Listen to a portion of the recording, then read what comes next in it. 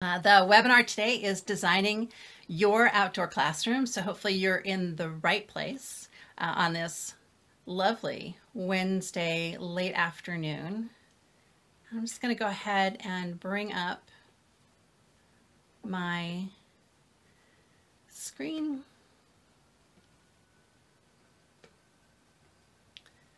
And there we go. Got that all set. Okay, so um, again, this is Designing Your Outdoor Classroom. I'm Marilyn Wyzga, uh, and I'll introduce myself in just a moment. I just want you to take in that picture since we'll be visiting this particular schoolyard quite a bit as we go through the next hour.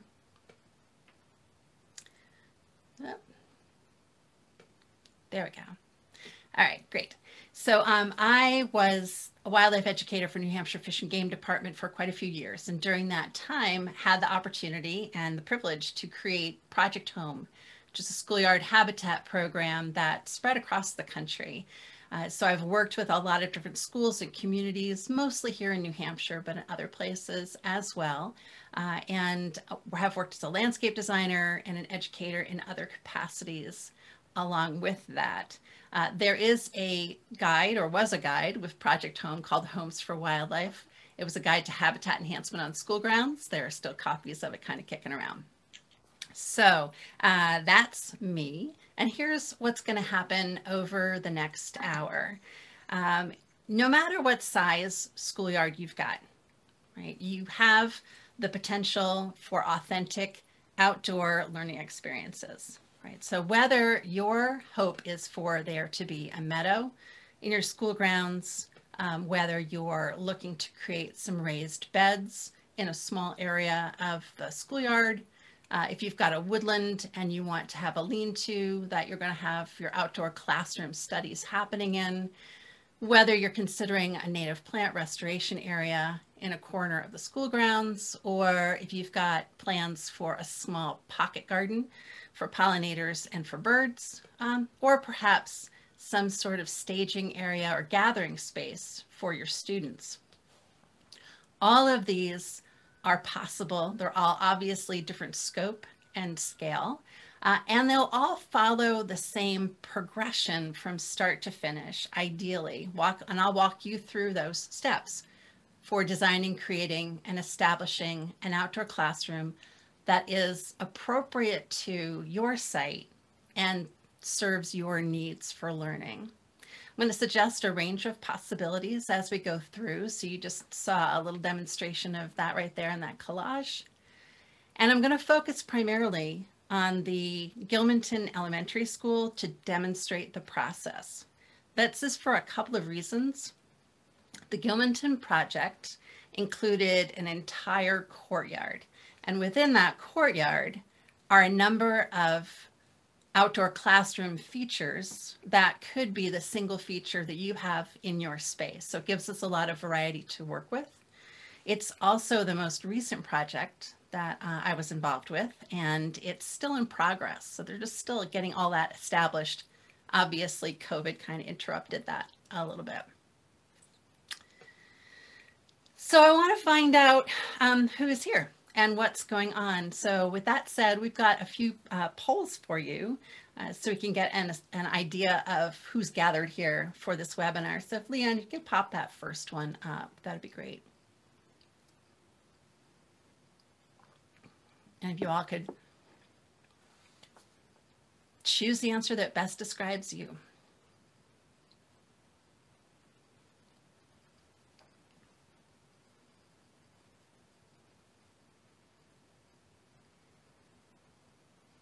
Going to find out who all these others are. All right. So leaning towards elementary more than middle school.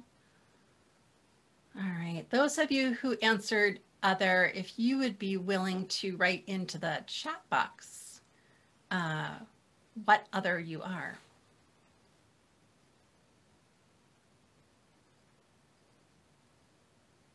That would be really helpful.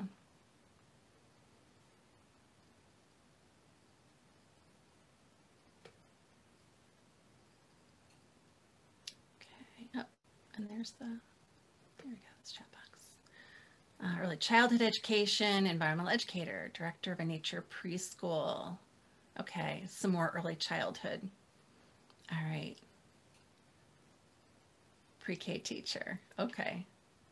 There's the category I forgot. I apologize for skipping that one. Was you put the poll together? That was an obvious one. Okay. Super.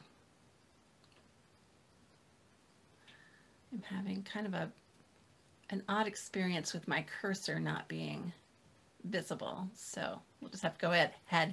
Uh, Leanne, could you put up the second poll?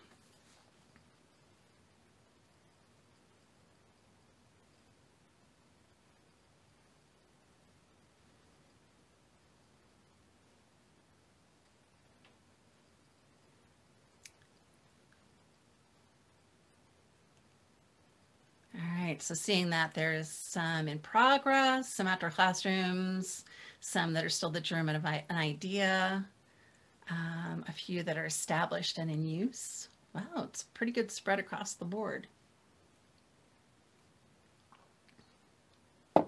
And no surprise, at least one that um, our school had one and nobody uses it anymore.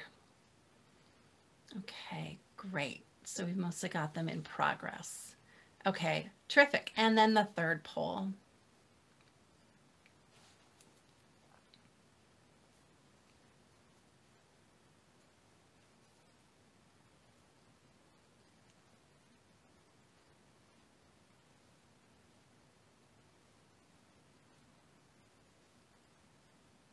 A few yeses on that one. And mostly no. All right well, then there's a whole lot of potential uh, for you all to be applying for those. Great. Thank you so much for filling that out. The other piece of this is questions and answers. So if you would be so good as to write questions into the chat box as we're proceeding, I'll stop at least once to see if there's anything that really jumps out that I don't feel like I really answered. Uh, and then the rest we'll just look at at the end. And depending on whether it's something I can just answer straight up from the question or whether we need to unmute you to get you to participate and ask the question live, we'll do that. Okay, great. So here we go. I am gonna just drop back out of this for a moment. There we go.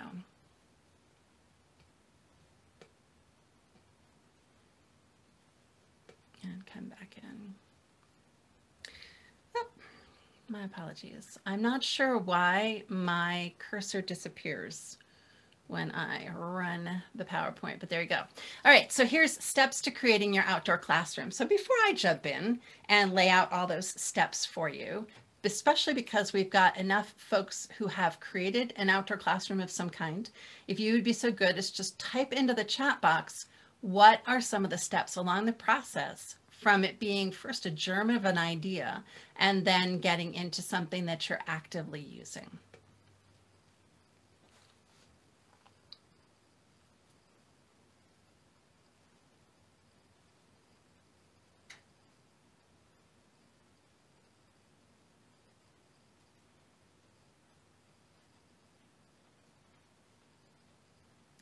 Draw plans, have access to water, uh, doing an assessment with kids. Building community by not going it alone. Thank you. Yes.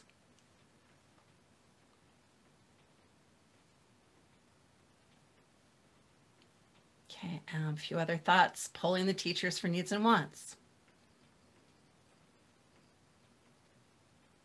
Collaboration, safety considerations.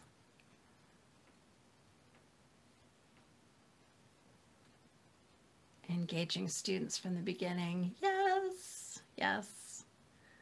Uh, broad idea, bring kids out to, oh, bring kids outside to the space, getting their ideas, bring a team of teachers together, have the kids partake in the art, the building, the planting, and revealing it to the community, discuss the purpose of the space. Mm-hmm. Research, speaking with like-minded community, what worked for them, getting the kids' input. Okay, super. Okay, great. Let's see if I can just once again make this go away.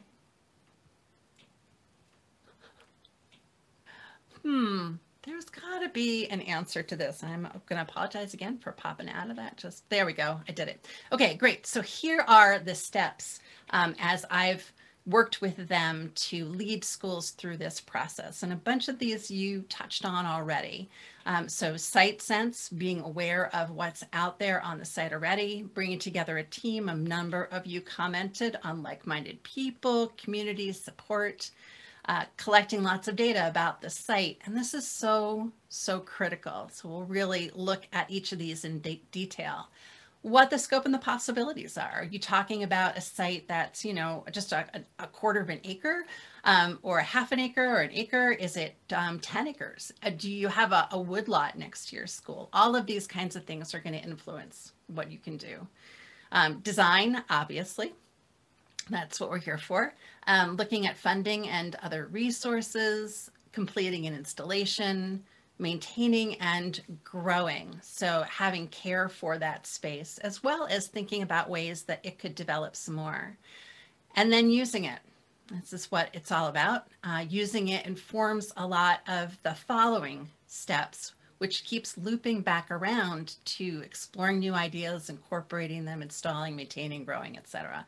And not forgetting to celebrate the success when you arrive um, at completion of each of those kinds of steps. Alrighty, so site sense, right? Spending time in the site to get familiar with it. Uh, and this is important from your perspective as the adult, but even more so from the perspective of the students. They know so much about what's out there. They have names for places and things on the school grounds that might not be what you refer to them as. Uh, they know how they use that space. That might not be how the adults intended that space to be used.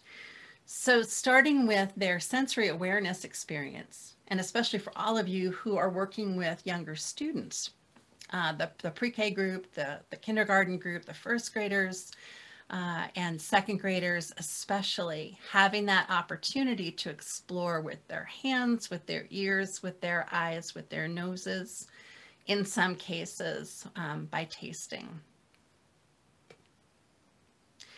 All right, so team, if you would all be so good as to pop into the chat box and write who are some of the people who ought to be on a team, um, or if you created a, a, project like this already, um, who is on the team that you brought together.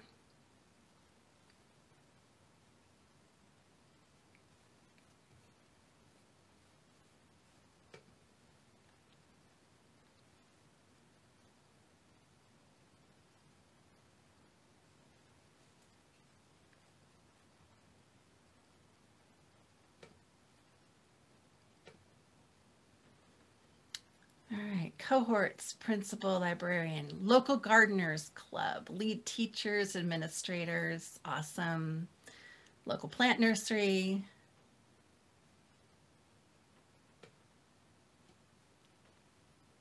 teachers, parents, custodians, environmental group, volunteer builders, school leaders, teachers, parents, kids.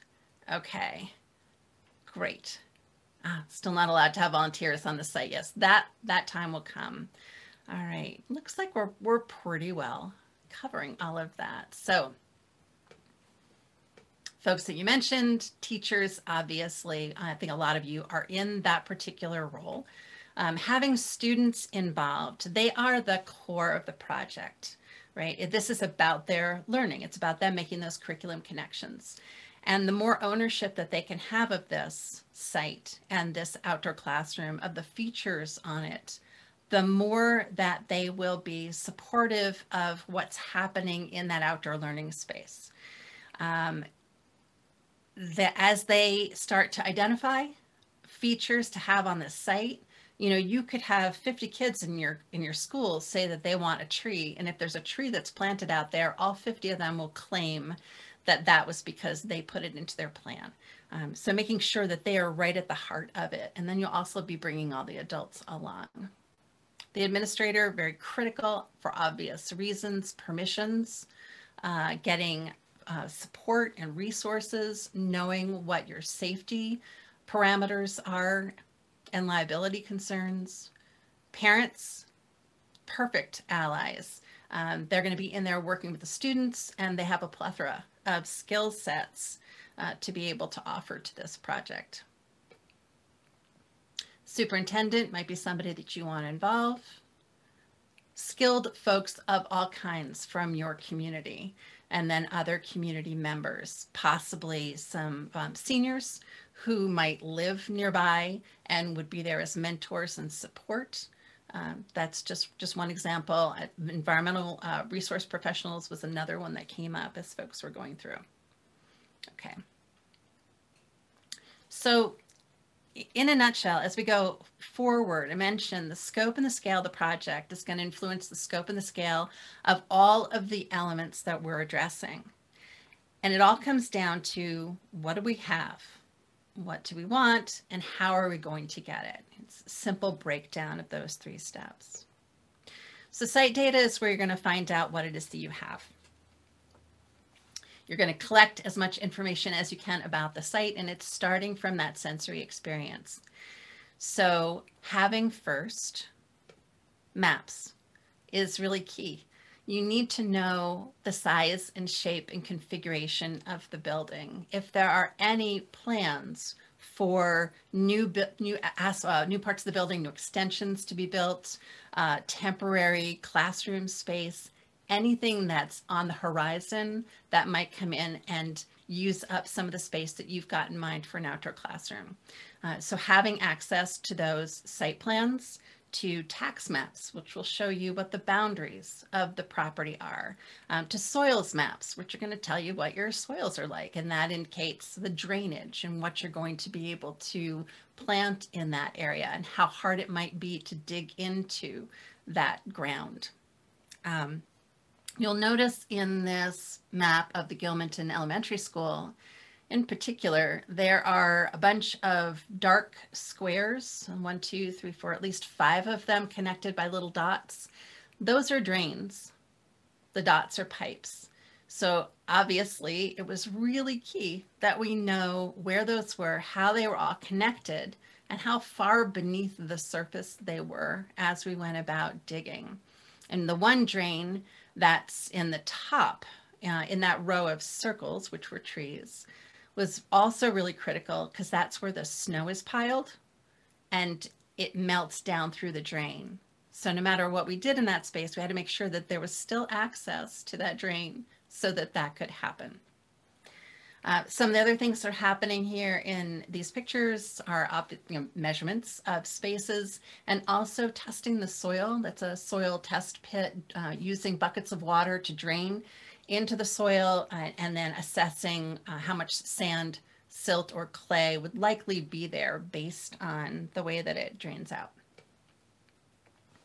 And then teacher professional development workshops um, are a way to provide Huh, that's funny. Um, that wasn't supposed to be animated.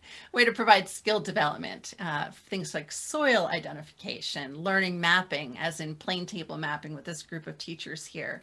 Uh, the teachers in the upper right hand corner are doing colors and words matching. Uh, so that was part of a workshop as well. So seeking out these opportunities as a way to enhance your skill set that you can then bring onto the project and provide to the group as you build your design. These are a few examples of maps created by teachers of the school grounds. The largest one is using satellite imagery as a reference for laying out the map so that things are to relative scale um, and then building in information about the grounds from their own studies. So uh, applying the data, the investigation data, the inventory data to the surface of the map. And the one in the top right corner is a sketch map. Pretty straightforward. The one on the on the bottom right is using graph paper uh, grids to work out that plan to scale. Part of the reason that I'm emphasizing this is we, I'm part of the group, the New Hampshire Partnership for Schoolyard Action, and we provide grants once a year for these kinds of outdoor classrooms. Without a good map, it's really hard for us to understand the project.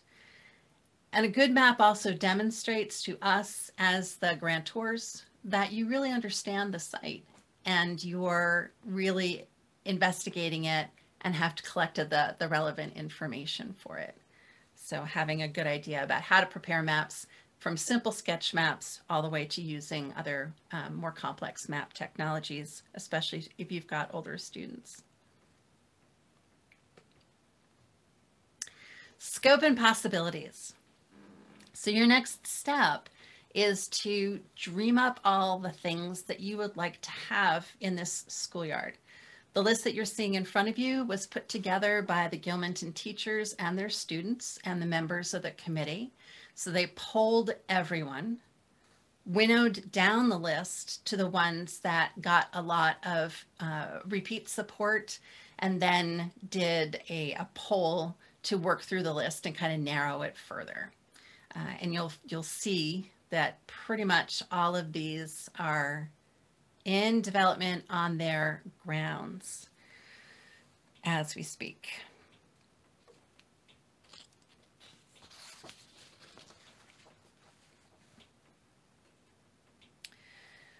So in your case, identifying that group of stakeholders, knowing who they are, getting all of their ideas and collecting them in one place. This is going to allow you to take all of that information the goals uh, sorry the the site data the map the dreams the wish list and from that you create your master plan right? Your goals your objectives your project ideas and moving it forward from there. Having a central place to keep all of this information is essential because you don't know if you're going to continue to be at the school uh, you want to make sure all of those records stay accessible to anybody who is on the team who's going to be carrying this project forward.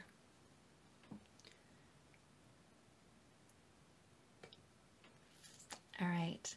And then before we go into design, I'm just going to stop screen sharing. Whoops. There we go. Okay, great. And I'm going to check to see if there are questions that I can answer right off the bat. Uh, that might be related to things we've already covered. So there's our participants, just scanning look for question marks. We received a grant for uh, do you recommend raised gardens or, oh, okay. Well this is a good question. So um, keith is asking about this this grant for $1200 for a pollinator garden? Do i recommend raised beds or using ground level gardens? Me personally um, i would say ground level gardens. And this is for a couple of reasons. If you're establishing a pollinator garden you're likely using native plants. Native plants for pollinators uh, tend to, um, they're going to be following the seasons. So when you have a raised bed, then the soil that's in there is going to warm up faster and dry out sooner. And having those plants down in the ground just kind of keeps them consistent with the seasons. Uh, I know that raised beds are a real benefit for kids being able to access the what's what's in the bed. Uh, so it could be an interesting experiment you know, here's a place for study and investigation, uh, having um, a little bit of both and doing a comparison about when those plants emerge, when they bloom, uh, which ones are getting used by the pollinators that you intended to be using them at a particular time. And just pan it, so postpone twice, it gets created. Ah, okay, good. I'm going to get to that, Katie, um, about getting the kids to come through the process as well. So we'll, we'll definitely be touching on that uh, and not seeing any other questions at the moment. I'm going to go back to sharing my screen. And back to, okay, there we go. So design. Uh, and here's here's the crux of it. You've pulled together all of this information, all of these ideas. You've got goals, you've got objectives, you've got somewhat place that you're starting to head. Now you need to be able to pull it together and make it fit the space or work with the space that you have available. So one of the play- ways to do that is to have students start to create images, drawings of what they see on the space. And you'll find, depending on what age they are, some of those will be pictorial and some of them will be more in a map format. And you can see that on the, the right-hand side. Um, and then drawing, bringing it into um, sketch maps, as in the top, and moving that onto a more refined map, which is off to the left, uh, as you begin to solidify these plans. So the, the pictures on the right, actually all of these are from Gilmanton Elementary School. They had the entire K through 8 population draw a picture of what they wanted to see on the grounds. Another way to get students involved in designing the space is once you winnow down that wish list, you can give them a handful of those items. So especially if you're working with a smaller space. This particular site is the Mount Lebanon Elementary School. Uh, the space was smaller than at Gilmanton and the students had, I think, a list of maybe five or six items that they had to lay out into this space. Uh, it was a little bit more straightforward from a design point of view because the land was completely flat. We were building berms as we went along, so it was a little bit more accessible to them. Um, but they're they're building design skills. Uh, they're working through the drafting process. They're figuring out uh, the sizes of objects relative to each other. Younger students can do this with three-dimensional models. So these are just sand table models with lots of bits and parts. Uh, and they worked in pairs, so each of them working on an, uh, an opposite end of this tray, uh, just to express how they were visualizing the space after it had everything in place for their out um, their ideal outdoor classroom.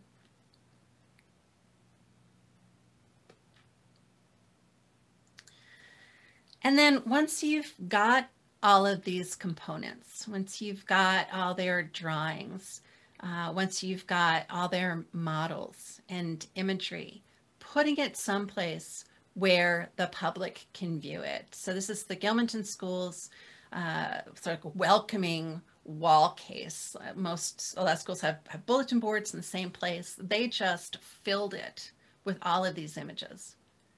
And that's a way to get the public, the parents, the community, the other teachers, the staff to be aware of what's going on, and then also to um, to become involved, to get excited about this, uh, and want to find out more and offer their particular skills, whether they've got skills in grant writing, boy, that's a good one. Uh, if they happen to be a botanist and that's in their background, if they're skilled carpenters, uh, if they um, work with construction um, or earth moving um, or pond building, all of those things can be real assets. And if they simply wanted to be able to donate their time and their labor to working on these.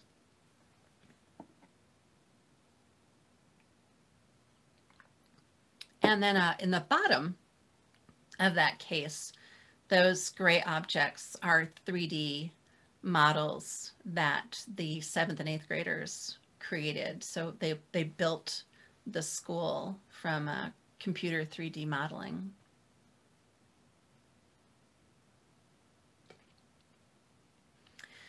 From there, you have the option, and again, it depends on the scale, the scope, the complexity to determine your best approach.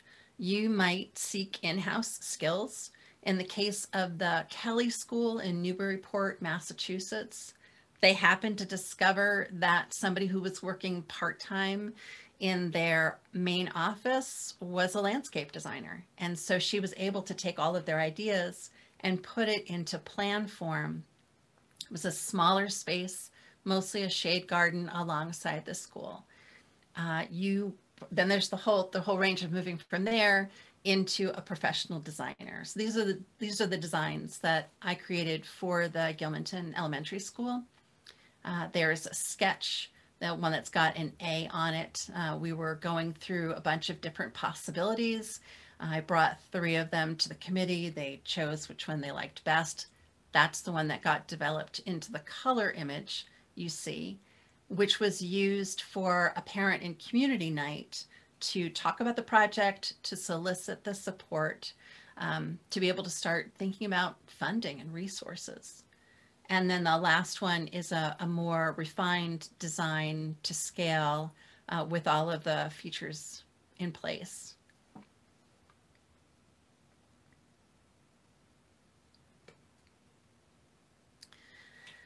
All right, so as you're going through all of this, right, as the plan is evolving, still use the space. I really encourage you to still be out there. In the case of Gilmanton, they made labels, they made little signs for each of the areas that they were starting to craft, to shape, to design. Uh, this one says Pondless Waterfall. The one in the background is the Reading Garden that's an opportunity to remind people where all these things are happening. It also allows you to physically fit the space, right? You don't know how big a gazebo or a terrace for a classroom of first graders needs to be until you've got them all sitting together on the ground or on chairs, whatever it is you're going to be sitting on in that space. Um, and so you can get a um, relative scale right, for figuring out all of these places. And you can see from the other two pictures that uh, before we started the design process and as the design evolved, they were using it as an outdoor classroom simply with picnic tables, right? That just a place to sit, to write, to draw, to collect information. Uh, Helen Ross Russell in her book from, I think it was from the 70s, and 10 minute field trips. Really proved that for an outdoor classroom, you don't need anything except you, you and your students. And she was taking kids out onto the sidewalk at in their New York school and looking at the cracks in the sidewalk for what was present there, for the weeds that grew there, for any insect life that might be present. Um, so making use of what you've got as you are developing this grander plan.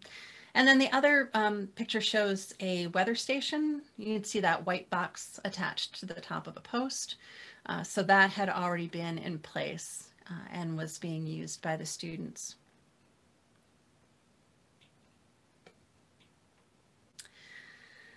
All right, and then and then funding.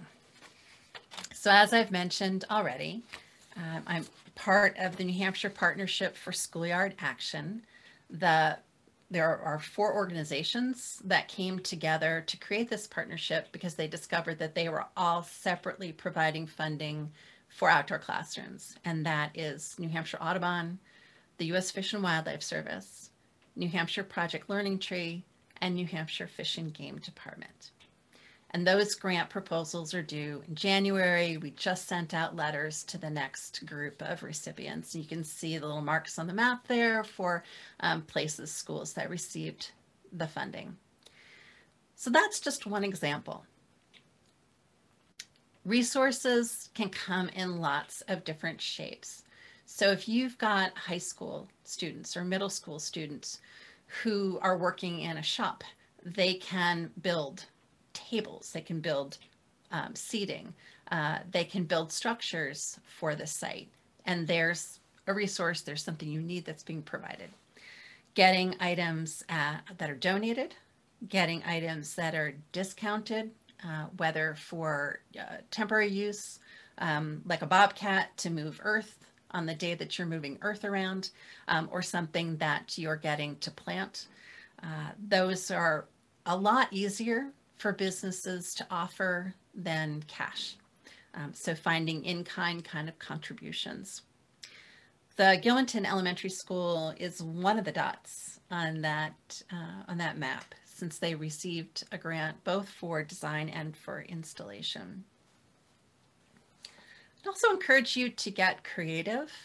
Uh, there was a school that I worked with that got funding from the Library Association that they used to purchase reference books, like field guides for their library. Uh, there was another that got a grant from um, an optometrists association, and they were using it for a sun shelter to protect kids' um, eyes from the strong sun. Um, so that was just creative use of, of the grant. All right, and then the installation comes along. So you have the option of looking at your whole school space and coming up with a master plan that covers all of it and gradually installing a piece at a time. And I really strongly recommend piece at a time, right? Let it be a work in progress. Um, or you can focus on, as we talked before, these smaller spaces, right? Like this particular corner uh, along the northwestern wall of the courtyard. Uh, was a place that they established a bird and pollinator area, and it's all anchored by that one spruce tree that was remaining. The area also had burning bush in it, which uh, they're great. They're great for supporting wildlife. They're unfortunately invasive species, so those got pulled out, um, and these other plant materials put in.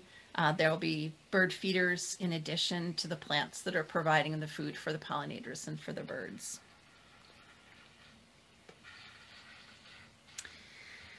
So the, the students got really involved uh, with this project and yours can too. Um, I hate to say, yes, use them for heavy labor, but they really want to be hands-on with this. So finding the kinds of tasks that they can do. And in the case of Gilmanton, you know, here's younger elementary school kids who are moving buckets of gravel to fill this trough that then became the paved path. That's one of the access places to the gazebo. Um, you see the tunnel going into place.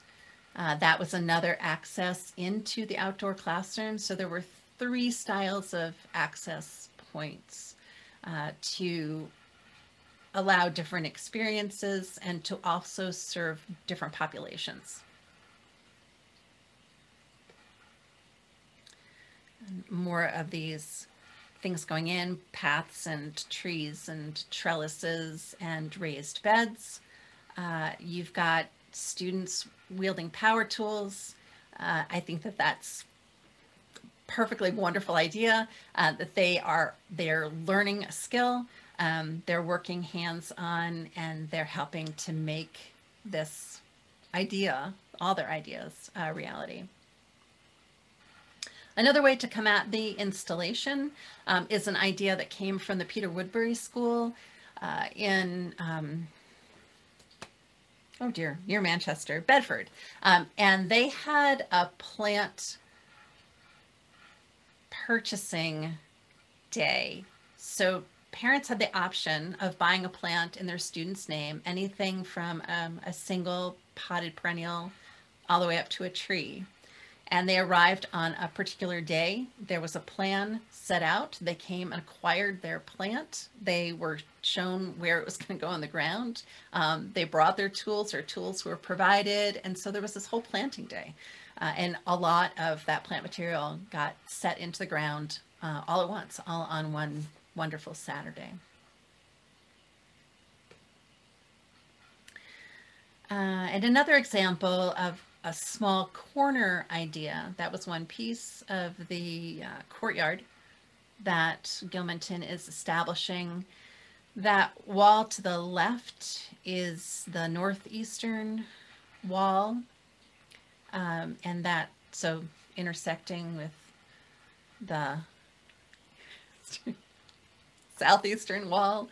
Uh, so somewhat, somewhat shady, um, uh, somewhat sunny corner that they wanted to use for a reading garden. And you can see how the parts of that went into place. Um, that those pavers, uh, in this, this case, they had a professional team install them. I'm sure there are some of you out there who have installed similar things on your own property. Uh, it's pretty straightforward, putting pavers into place. There will be uh, seating of different kinds. You can see the rocks that are already placed. There are uh, logs that are already there. And that post is going to hold a little uh, outdoor library of the kind that we see kind of cropping up in, in towns and um, just with like a, a, sharing library to be able to pull a book out uh, and use it there in this space.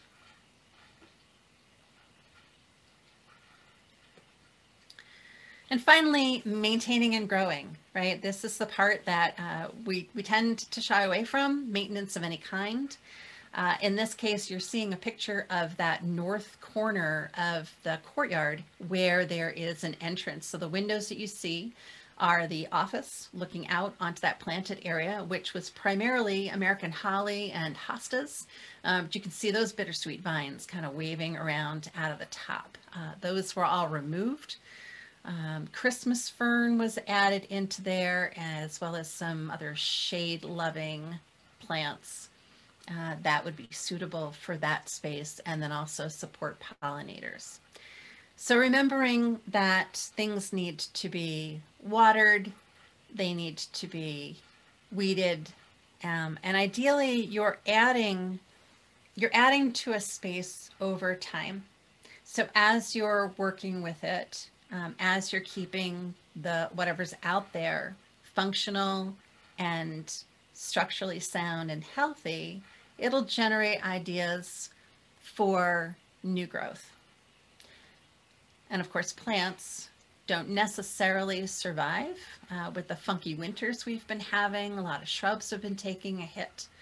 Uh, so having, anticipating replacing those um, and then being able to establish additional plants along with.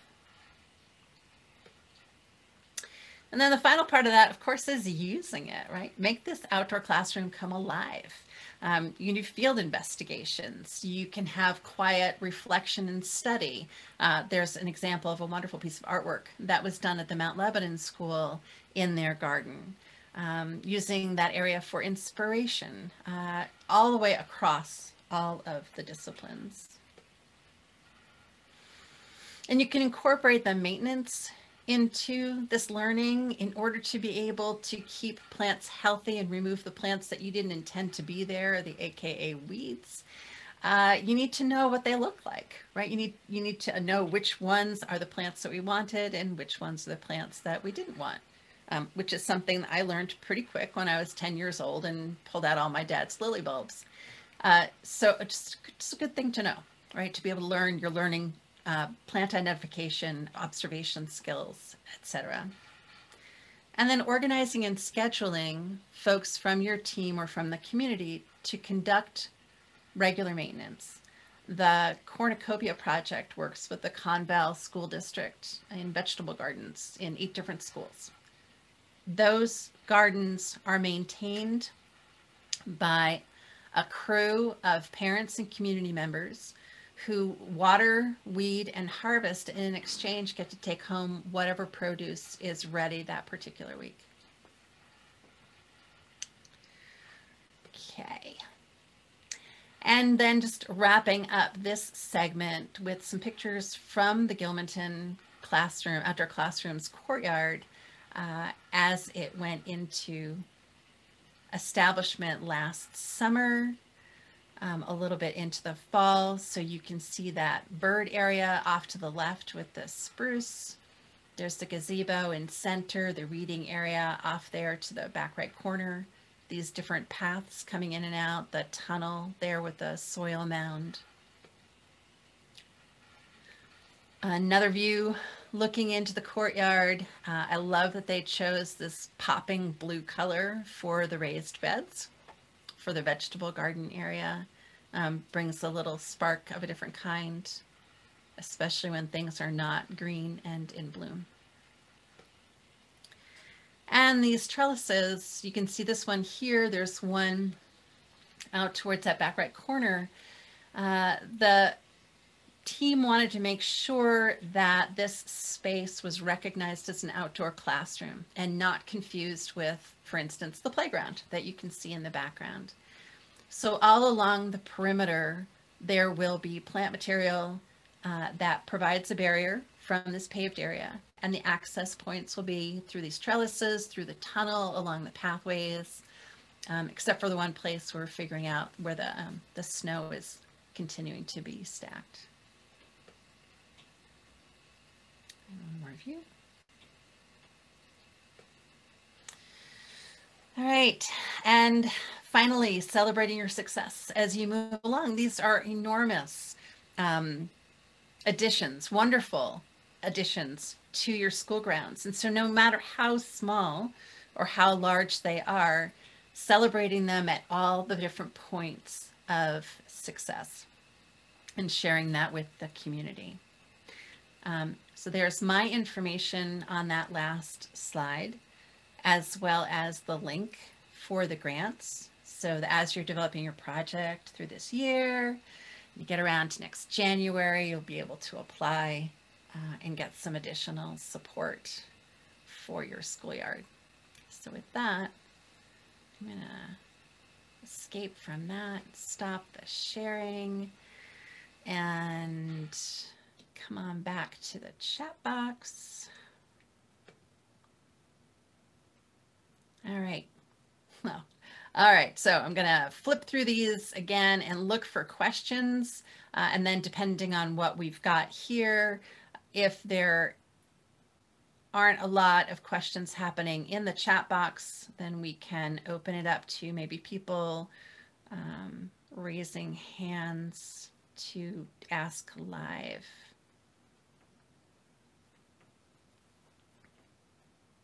All right, so folks are asking about the presentation and it is being recorded and will be posted online, so you'll have access to it. And where is the grant link? Uh, that was on the last slide of the PowerPoint. Um, I don't know if Leanne can pull that up. Yeah, I'm gonna, I'm looking for it right now. I'll Great, thanks. It's on the Fish and Game website, um, so wildlife.nh.gov. All right, so I'm not seeing more questions. So I'm just going to put this out to you folks. If somebody has a question, and you want to unmute yourself and ask, we can do that live.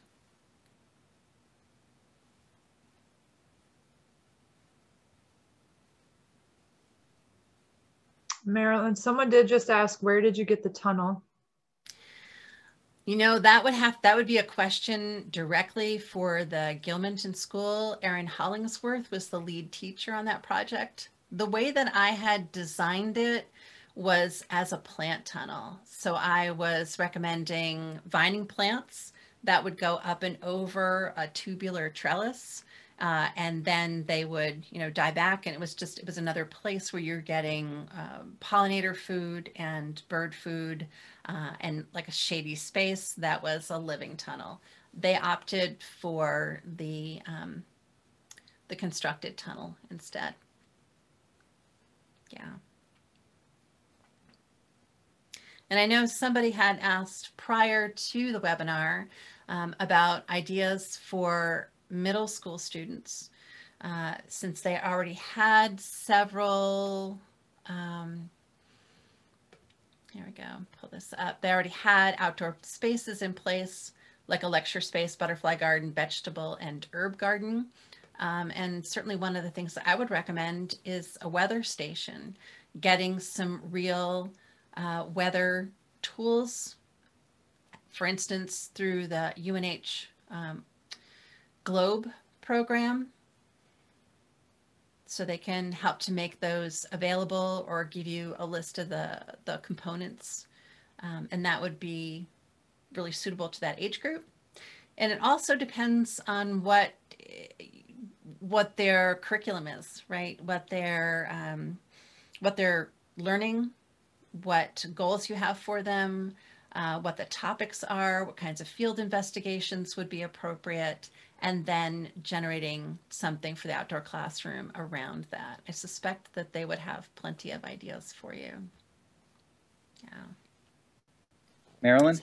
Yes. For the, um, I, I was the one who asked about raised beds versus uh, lo- low level. Um, we were lucky enough at Lincoln Street School in Exeter to uh, receive uh, the $1,200. And I've done a little bit of research and listening to others uh, that are experts on, you know, the pollinator pathways and the pollinator gardens to Mhm. focus on, you know, three seasons of food and habitat for the butterflies. Do you think just that alone at first, and then you can always add bird feeders or benches and things like that? Or do you kind of go 100% into it and try to do all these different? I'm, I'm Yep. just not sure. Mhm. You Yeah. Tackle that's- everything at tackle everything at once, or just focus more on the butterflies than anything else, and then there are three seasons. I, what do you think? That's an excellent question. Uh, and it's going to depend on the resources that you have available in terms of people and energy and financial resources and material resources. If you've got the capacity to put everything in at once, and that's what you want to do, um, I would certainly support doing that. Uh, most schools, I'm encouraging to taking it piecemeal, right? So that they don't get overwhelmed with it. You put one part in and you go, oh, okay, this is working. This is good. Great. Now on to the next one. You've got energy to kind of move on. Um, and in your particular case, I believe that Heidi Holman from Fish and Game is going to be in touch about supporting you with that project and some of the particulars. And I think I might be on that list as Okay. well. So we'll, Yeah, that's great. I just knew that um, from the local gardeners club and some others that they said, "Oh, we'd we'd love to help out either with men and women power or financially." So there's Mhm. more money. I just didn't know. Do you, you know, do you do you try to go all all into it with all these different things? Um, but that but you answered that, so that makes sense because I think we're we actually are going to have a little bit more money than we thought originally because people are willing to donate. That's great. That's great. And with donations, uh, certainly caution you. A lot of times, uh, people will want to donate um, divisions from their gardens, and the reason that they're giving you those particular plants is because they're the kinds of plants that tend to divide and fill up an area, and they may not be what exactly you're looking for. So, as people are offering donations, make sure you've got a list of the kinds of plants that you're looking for um, and request those. Great. Yeah, thanks. Good question. Uh, and then let's see. All right, so there's, yeah, and you're also asking about benches, pathways, bird feeders in a pollinator garden, or just stick to the bushes and flowers.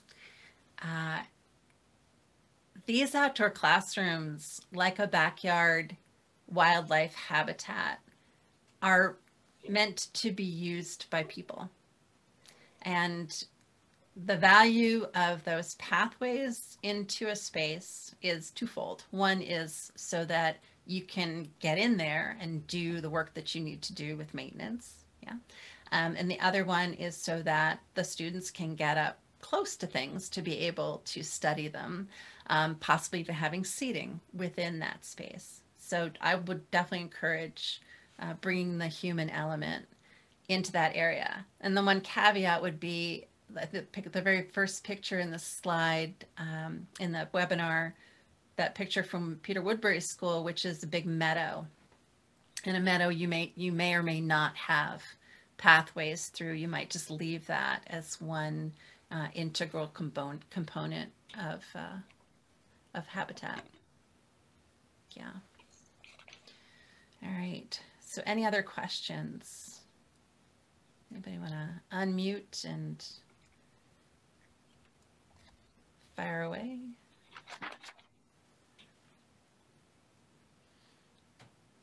Okay, and hearing nobody and seeing the time, I am gonna share my screen one last time so that you have that last slide that's got my contact information on it in case you um, you weren't able to catch that before. Um, Yeah, Tom.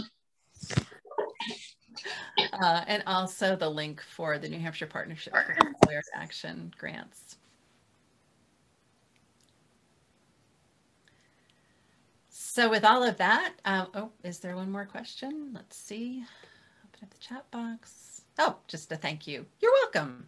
Absolutely.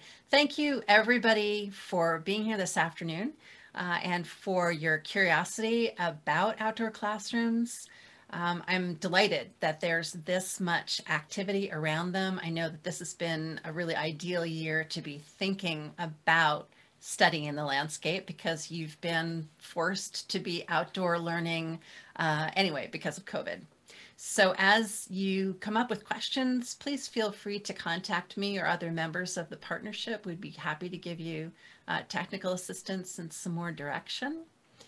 Uh, and good luck with all of your projects for outdoor classroom development.